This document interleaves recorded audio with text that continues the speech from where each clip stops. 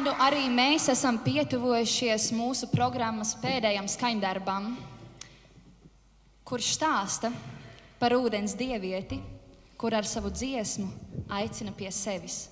Bet pirms jūs dzirdēsiet šo dziesmu, mēs vēlamies jūs iepazīstināt ar mums. Klavie, pie klavierēm Zanda. Kontrabas Staņslavs. Gitāra Svens. Bungas Pauls. Perkusijas Jonatans.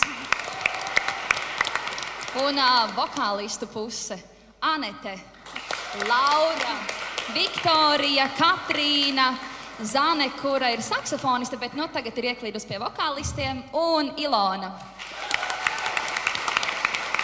Protams. Un Protams. Dita. Dita. Dita.